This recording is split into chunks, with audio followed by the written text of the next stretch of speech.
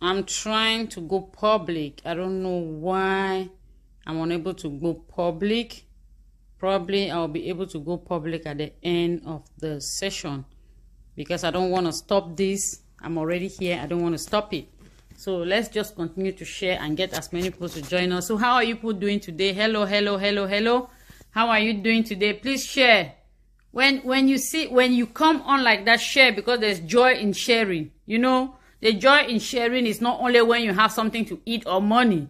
Even in an opportunity like this or in a conversation like this where we can pick one or two things and learn one or two things, let us share.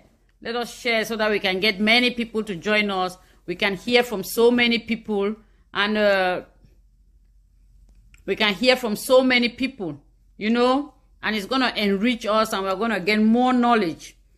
So how are we doing? How are we doing? Thank you. Thank you. And Phyllis, how are you doing? Prudence, good evening. Good evening, Prudence. Good evening. Thank you for joining. Thank you. Thank you for joining. Oh my goodness. So I'm just going to move on because this is Lillian. As you know, my platform is the Ambo's platform and this platform is for women. Particularly for women. This is a place where we discuss all our issues, women's issues. Because women have so many issues in society and sometimes they don't know where to talk about them. Because we don't have confidence in our friend and in our next friend. We don't know who to confide in. We don't know who to talk to. Sometimes we have these things weigh us down until we become depressed and even die with all of this. But this is a platform where we can share our difficulties, share our challenges, help one another with ideas, and make this place a better place for all women. And until we become a force, until all women become a force, like one force, we are not going to overcome all the challenges that society has for us. You know, society is expecting too much from women. I always say that because I know that the society expects too much from women. The woman is supposed to be perfect. The woman is supposed to be an ideal. She's not supposed to make mistake. She's supposed to be the best wife. She's supposed to be the most well-behaved person in society. She's supposed to be respectful. She's supposed to be the best mother. She's supposed to be everything in society. So the least thing that you do wrong, it becomes a taboo. It is viewed like a taboo. So this puts a lot of pressure on women. Whereas the men have the laxity to do whatever thing they want to do. And the simple excuse is, I'm sorry, is the work of the devil. And it's normal. Society accepts that. It's normal. But what I want us this evening to understand is that it is not normal. I don't want us to be overburdened because the society is expecting too much from us. I don't want that. I don't want you to kill yourself or to go out of your way to do things that you're not supposed to do because you want to please somebody. You cannot please everybody on planet Earth, no matter what you do. They are going to, they are going to be naysayers on your path. There are people who are going to talk about you. People who grumble behind your back. People who gossip you. People who laugh and mock at you. When you stay quiet, people look at that one. She's never talking. She sits behind as if she's scared of people. When you talk, look at that one. She's very pompous. Where everywhere they go, she wants that people should see her. When you make up, they say, oh, oh, see the way she's showing off. I don't even know what she thinks she is. When you dress simply, say, see that one. See the kind of clothes where you wear and come for public. When you come online to inspire somebody, they say, see, every day she's on social media. What does she want to show? Please let her go and sit in the house and respect her age. When you don't do something, people will talk. You do something, people will talk. But the one thing that you have to understand is that the only reason why they talk about you is because you are fruitful. You have something to give. Because nobody picks a stone and shoots on an empty tree or a fruitless tree. Nobody does that. But when you bear the best fruits, all the stones that are around you are going to be aimed at you, shooting. Because there is something up there. So if people talk about you, it's because you have something. Something influential, not negative, positive. That's the reason why people talk about you. It's because you're important. That's why people talk about you. So you don't have to worry. You don't have to go out of your way to try to please people. Be you. Identify who you are. Identify who you are. and strive to be you. Just be the best version on you of you. And do your best to try to be the best person that you can be. Be in competition with yourself and nobody else.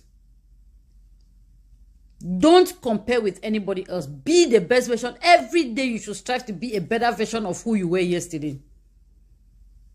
And that's the only thing that matters. What people say about it does not matter. What people think about you does not matter.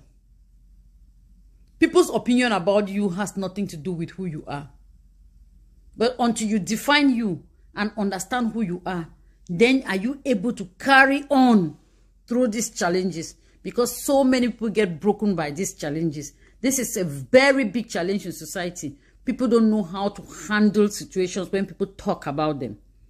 It wears some people out. It kills their zeal. It makes them to, to decide to retreat and be isolated and stop talking. You know?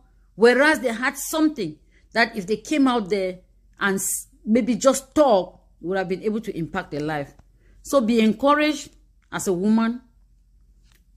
Be impactful as a woman. Be strong. Be energetic. Have self-confidence.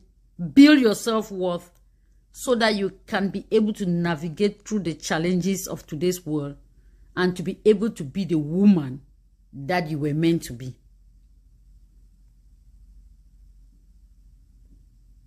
So that is my introduction for today. So if you're here with me, please share. And when you share, you're going to be blessed, blessing somebody. So today, particularly what I want us to talk about is I want to talk about why women fail in their relationships. Let's talk about some relationship tips today. Why so many relationships? Why are there so many relationships failing nowadays? Why? Let's look at those things that help to destroy our relationships. We women, we have to understand that we are the foundation of a home. The man can use money to buy a house but you cannot use money to buy a home. You are the foundation of that home. You are the pillar of that home. And there are certain things that you have to put in place if you want to make that place where you are living home. And you've got to put those things in place with wisdom. Because there are so many challenges that are going to come your way. From your husband, from your husband's family, from your friends, your husband's friends, everybody around you. So you have to be very smart, you have to be intelligent, and you have to be diplomatic to be able to navigate through those challenges. You have to have confidence in yourself to be able to navigate through those challenges. But then, what do you need to do to bring yourself to that place where you can overcome all the challenges without any difficulties. What do you need to do? Number one, some women are very, very nagging. You want to know where your husband is at every given moment.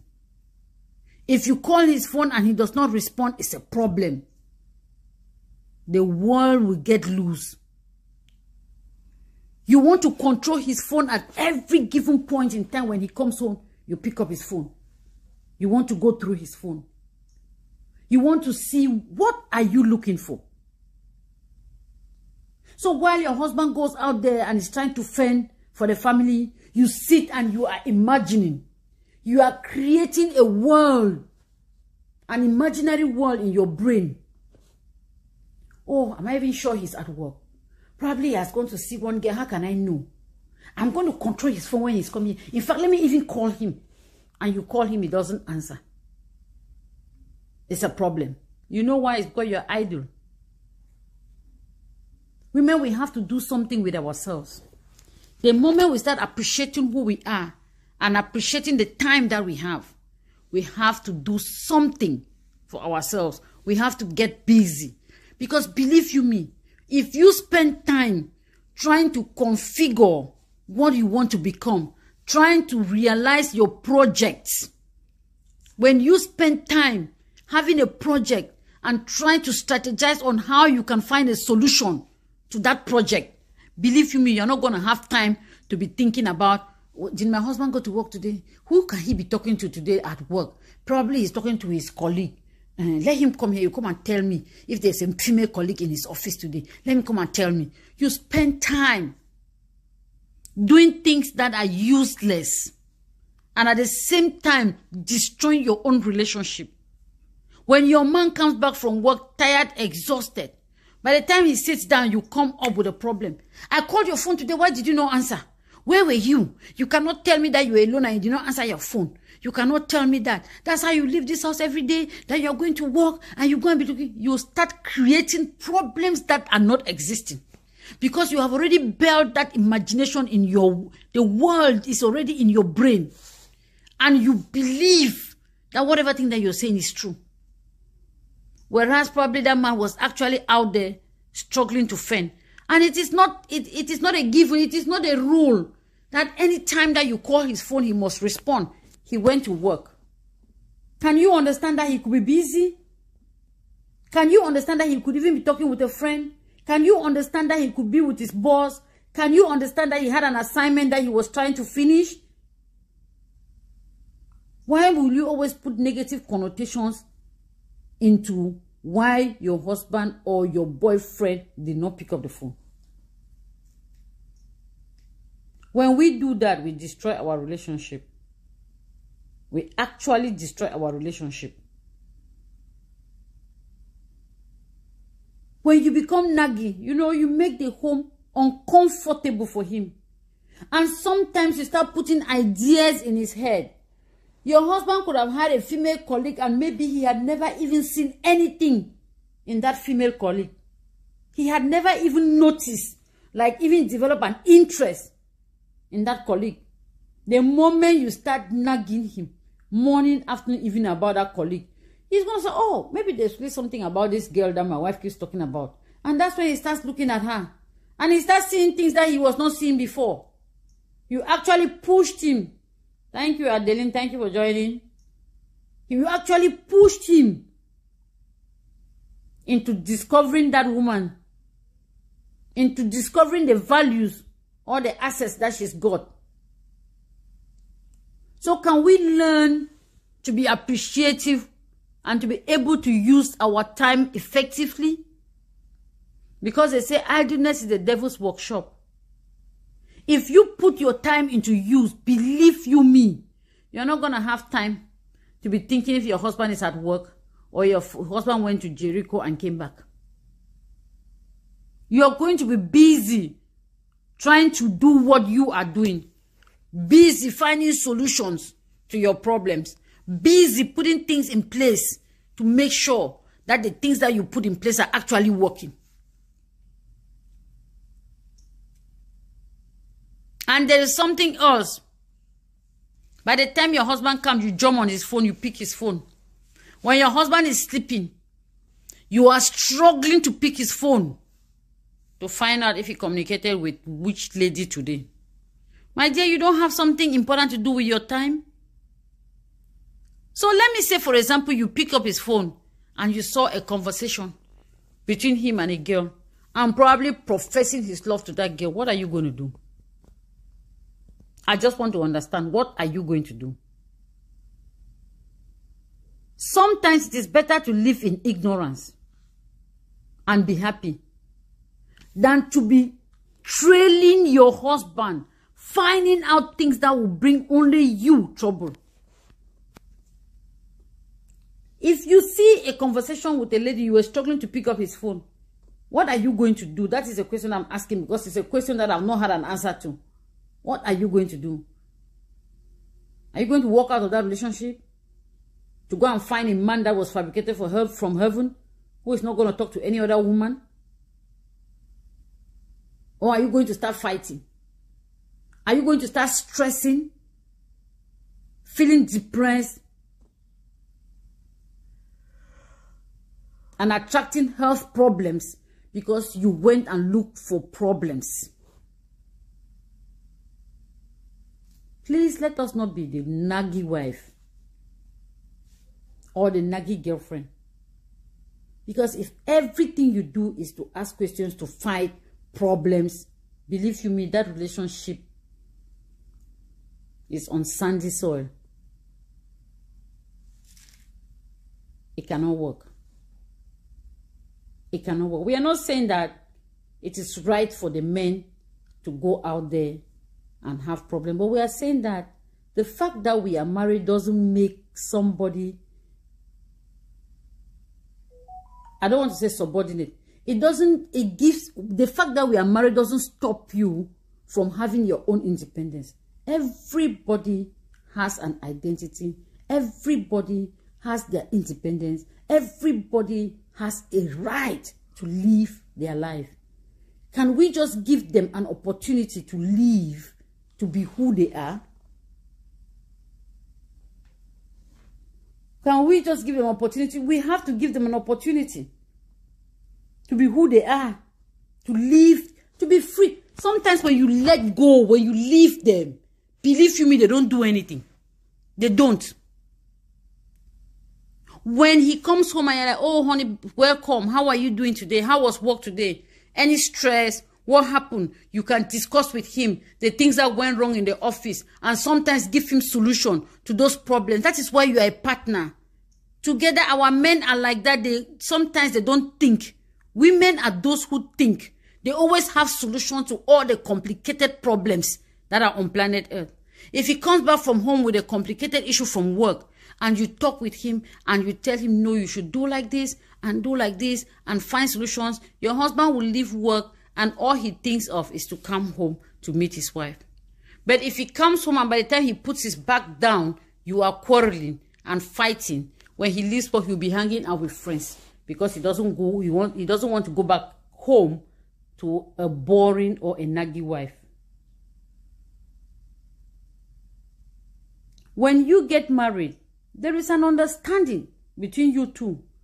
There is respect, mutual respect between you two. There is mutual trust between you two.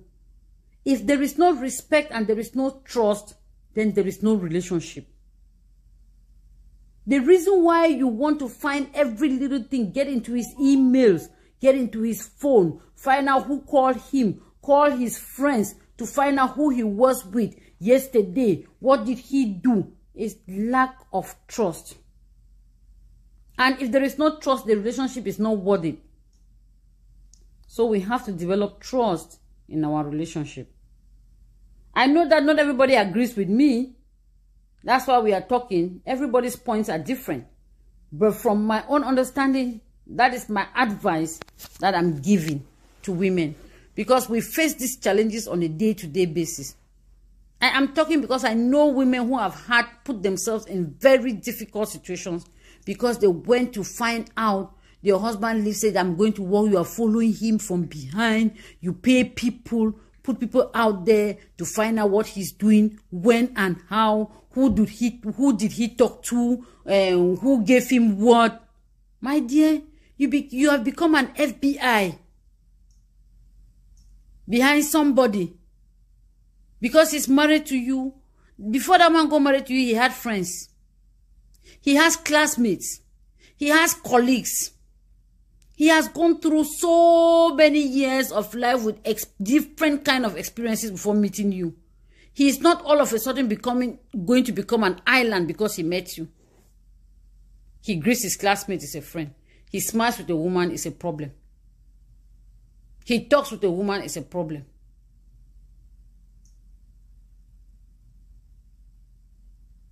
So I was trying to look at those things because most often than not we blame the men the marriages have gone up, marriages have gone down. We blame them sometimes, but sometimes we have to look at ourselves, stand in the mirror and look at yourself and be honest to yourself and ask some questions. What have I done? What is the part that I've played to make this relationship work? What we are saying is that if you are convinced that you have done everything that you're supposed to do and the relationship did not work, you're going to give yourself a tap on the back and say, I tried. and it didn't work and you're walking out of that place with pride, joy. Nobody tells you to go and stay in a relationship and die in a relationship that does not have you know yes adeline said that who finds who who who you who finds out is just looking for stress on yourself. Exactly. Why you why are you looking for stress? Why are you finding out? Why must you go out there? Must you follow him up? Before this man met you the man knows all the women that he is talking to today. I mean greeting and everything. He had known all of them. And he chose you for a wife. Is that not reason enough for you to trust him? He could have chosen any other woman. He chose you because he found something in you. He loved you so much to decide that you become a life partner. But when you come to the house and married and you start putting things apart, that is just one of the things. Don't stress them up. Secondly, the day your man met you, maybe the time that he met you and you were dating him, you were this classy girl. You know, every time you were up and doing, you he comes home, you're looking good. You're going out with him, you're well dressed. Everything was classy about you. You were neat. The house is clean. Food was well prepared. Everything was good. The moment you get married to him, he wants to come home, you they will kaba. From morning to night. You have not taken a shower. Your hair is scattered. You are sweating in the kitchen. You start wearing slippers everywhere you're going because you are married. My dear sister, you're going to turn off that man. The fact that we are married is not an excuse. It's not an excuse for us to forget about taking care of ourselves. We are not taking care of ourselves because we want to look for a man. Because when you do that, the impression is that you were looking for a man and now you have a man, you don't need to take care of yourself. No. You're taking care of yourself for you. It is for your own good. It is for your own good. And for your own happiness. It's for your own joy. And for your own self-satisfaction. That you are doing, you're taking care of yourself. You're looking good. You're not looking good for any man. It's for you. So if you're looking good for you, what stops you from taking care of you? God gave you this beautiful body to take care of. Dress good, look good, look smart, look happy. So that when he comes back home, too, he looks at you and he's like, oh, wow. I have a beautiful wife.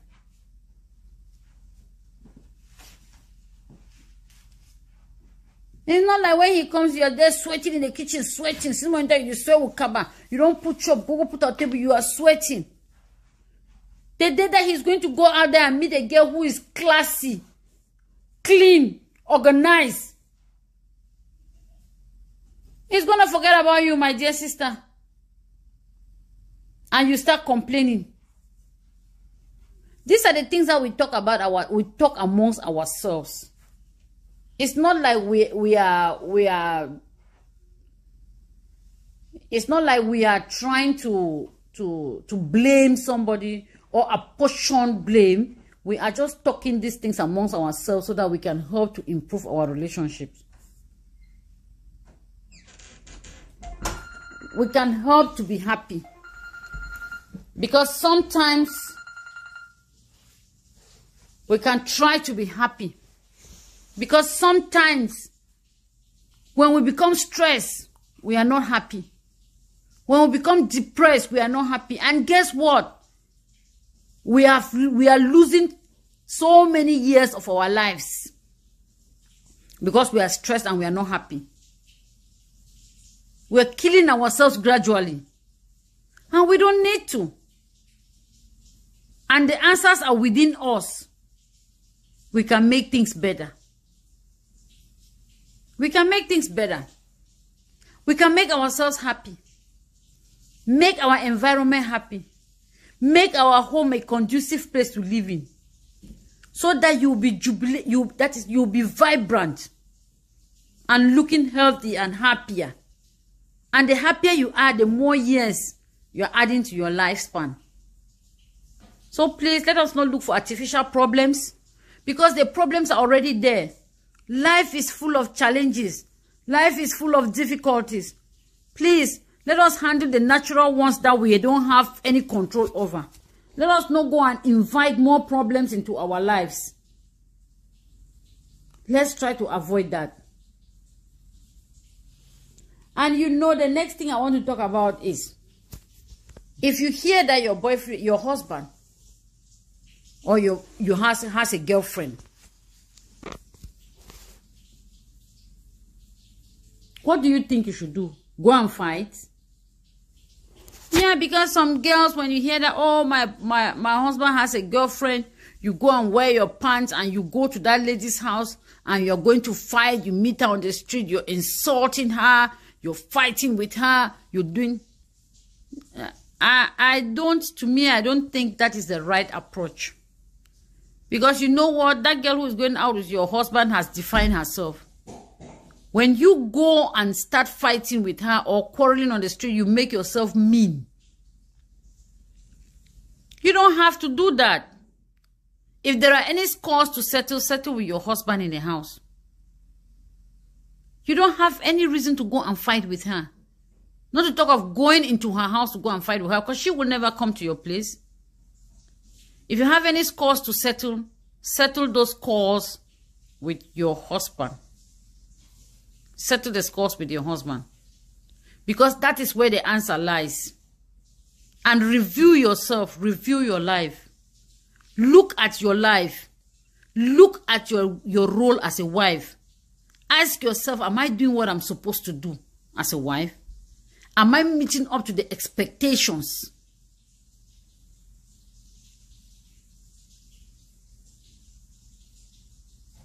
that are required of me as a wife? Look at it. Is there anything that I'm doing that is pushing my man outside? Look at those things and address them. Because the more you go fighting, the more the man is going. He's not coming back to you. The more you become violent, the more you're losing him. He's not coming back to you. Any right thinking man is not coming back to you. So these are some of the challenges that we have. And sometimes we don't know what to do. We don't know who to talk to. We don't know what approach to take. But these are common occurrences in relationships. Do not be too bossy in a relationship. Even if you are a boss at your workplace. That boss, that boss title ends at the workplace. Don't go to your home and become try to become bossy because you are the boss in your office. No, it doesn't work. Your role as a boss in the office is different from your role as a wife. Don't try to have everything under control. Every decision you have to take. Everybody has to listen to you. You want him to become a stooge. When, so when you ask him to sit down, he sits. When you ask him to stand up, he stands. It doesn't work like that. Don't be bossy. Promote communication between you and your spouse or you and your partner. Promote communication. communication. Create an environment that is conducive for the two of you to be able to communicate. Communication is the key to every successful relationship. Instead of being bossy, communicate with him. Share your ideas with him. Ask his opinion. Ask his opinion. Ask him what he's supposed to do and what he's not supposed to do.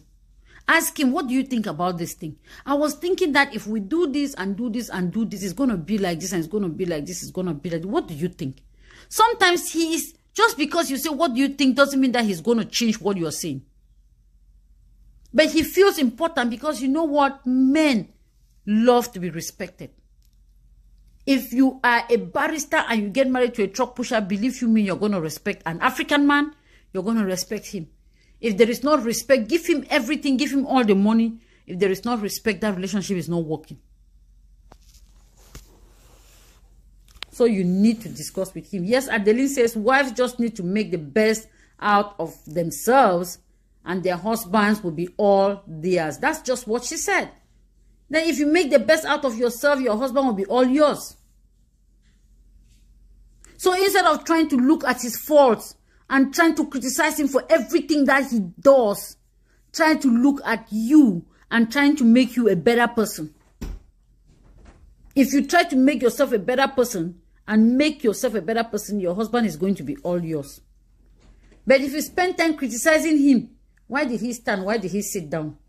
Um, why, why did he do this? Why did he do this? Everything is a problem. He says something is a problem. He doesn't say something is a problem. He laughs is a problem. He cries is a problem. No, it's not going to work. Just make the best out of you and your man is going to be yours. So instead of spending valuable time trying to spy on him, spend that time trying to rebuild yourself. Look at the review your life. Look at you, stand in front of the mirror and look at yourself and talk to yourself. What is it that I'm doing wrong? Be honest to yourself because sometimes we we refuse to be honest to ourselves. Be honest to yourself. What am I doing wrong? How do I need to correct this? Correct it. Work on you. And believe you me, you will see your husband becoming the person that you have long wanted him to become. So those are just some of the things that I wanted us to talk about today. And just that we build ourselves. Just that we fortify ourselves. Just to encourage some woman today. That if you're in your home and you're undergoing all of these challenges, look at you. Find out where the problem is with you. Find out what you think you're not doing right and try to make yourself a better person. Trying to correct your wrongs.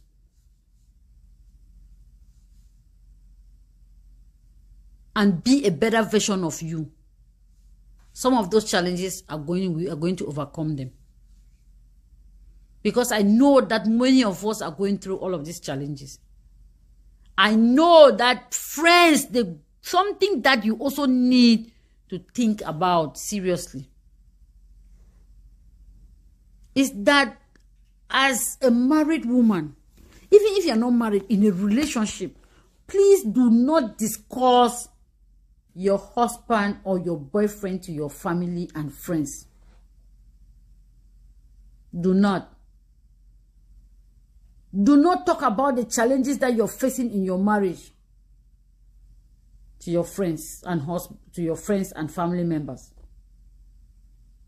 Because when you talk to your family members, believe you me, they will never forgive that man. If you tell your mother or your sister that a man maltreated you, she's going to carry it for life. But you are going to forgive him because he's going to come to you and tell you, sweetheart, honey, please forgive me, the devil. You know, the devil is always influencing men. So he's going to tell sweetheart, please forgive me. It's the devil, the devil's work. Please, I will not do it again. You're going to forgive him. But your family will never forgive him. They will never forgive him. And don't talk about him to your friends. Because you have to choose your friends wisely though. So when I talk about friends, I'm talking about those whom you cannot really call a friend. Because when you start talking about them, sometimes you tell your friends about all the good things that your husband is doing to you. Oh, my husband is very respectful. Oh, my husband is very loving. Oh, my husband worships me. He gives me, oh, my husband just bought me a car. Oh, my husband bought me a nice ring. Your friend starts developing an interest in your husband because she also wants to get those things that you get. You are the one who is instilling that in your friend and you didn't even know. And by the time you know it, your friend is making advances to your husband. By the time you know it, your friend is going out with your husband. until it gets to a point somewhere that you cannot even have control over it. And if you want to talk, the man is going to tell you she's she's more beautiful than you. She's more caring. She's more understanding. She does this. She does this. You, you are only here nagging, nagging, nagging. Why will I not go out? And then you stand there and look at yourself like a fool.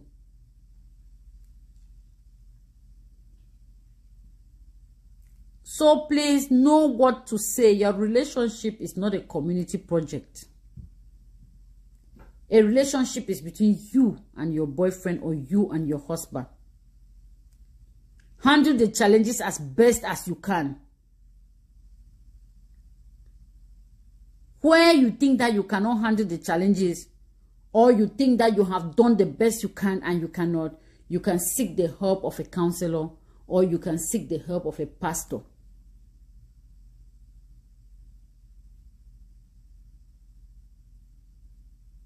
Don't go to your friends. Because you go and tell your friends that hey, my, my husband did it. Hey! Hmm. And when you're still doing what there? If I'm the one, I would have left a long time ago. I cannot tolerate that from any man. Nonsense. By the time you know you're out of your home, or oh, before you finish that your friend is in that house.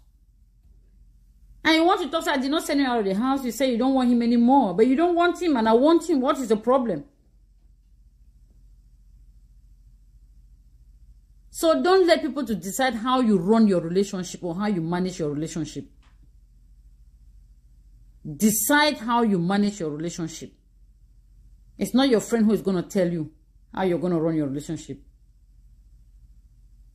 No. So we have to be also careful because some of the things that we do in ignorance and we just think that, oh, we're talking, um, I'm just praising my husband to my friend or I'm just complaining about him to my friend. You think that you're, you're just doing it in ignorance. You're doing it thinking that you want somebody to advise you. And you're thinking that that friend that you're confiding is somebody who can give you good advice. But believe you me, the hearts, the thoughts of a man are not triable. You may never know what is going through her mind. And by the time you finish talking, she will give you the worst advice that you have ever had on planet Earth. Robbie, my own husband does this. My husband does this. In short, my husband cannot talk to me like that. No, he cannot. I'm out of that place. Me, me. No, I cannot tolerate it. Now you, I beg, if I'm you, I cannot take it. And then, and then you go to your home, you are boiling because your friend has told you that she cannot take it. And you go and put more kerosene on fire. Please be watchful to who you talk to, especially when it comes to your relationship. When we do those little things, we are able to fix our relationships. We are able to live happily because emotional stress is one of the worst things that can happen to somebody. Emotional stress. It's going to kill you very fast. So if you have the power within you to control emotional stress, my beloved sisters, do everything within your capacity to control it. Everything within your capacity, do it to control it. So that you can be free, you can be happy, you can live longer, and you should be able to take care of the children that God has blessed you with.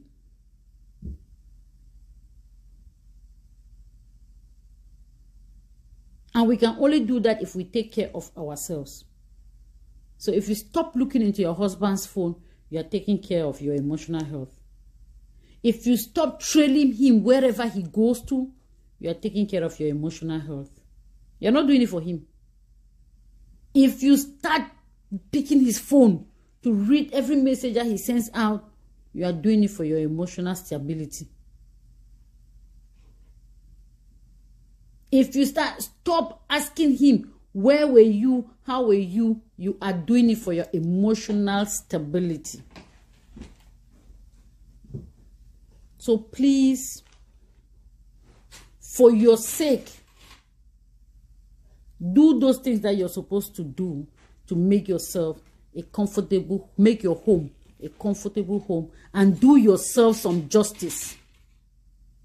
So my message today is that for all the things that you are doing, you are not doing it for the man. You are not doing it because you are afraid of him. You are not doing it because you're begging him. You're doing it for your own emotional stability and you for your own health. You want to live long, you want to live happier, and you love yourself so much. If you love yourself so much, you can go through every challenge to make yourself happy. And this is just one of them. Nothing can stop you. So let's do that and be happy. So that we can, together as women, build a brighter tomorrow. We can instill some values in our children because we are the mirror through which our children see the world. So let us instill these values in them so that they can also grow up and be able to live happily in their own relationship based on what they learned from you. And this world is going to be a better place. You're going to be giving yourself long life, giving your children long life, happiness, joy, peace, and love. So thank you for watching. Share this video to as many people as possible. Please don't hesitate to share. Share in all the groups that you know.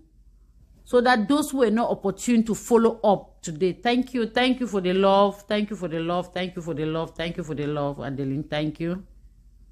For those who were not opportune to follow up today, I know I've been very absent and I didn't send out my invite early to notify my fans that I'm on and I'm back. Share so that we can gain some knowledge and we can learn together on how to help ourselves. But do not hesitate if you have anything to add or any suggestions to make because this platform is a platform where we intend to work with women, help women, help us solve our problems, help just counsel us and find ways to become happy and successful women in the society. If you have any contributions, please do not hesitate to inbox me and I'll be very happy to share them when I come back live. I will be back on Saturday 3 p.m. Thank you so much for watching. I love you all and have a blessed evening.